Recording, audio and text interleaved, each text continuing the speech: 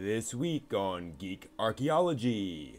On Tuesday, Brent continues designing his super deformed character, Francis, and plots out what might actually turn into a comic strip on Drawing in Word. On Wednesday, Brent will show you how to paint human minis, because he still sure has a lot of them to paint, on Workshop Wednesday.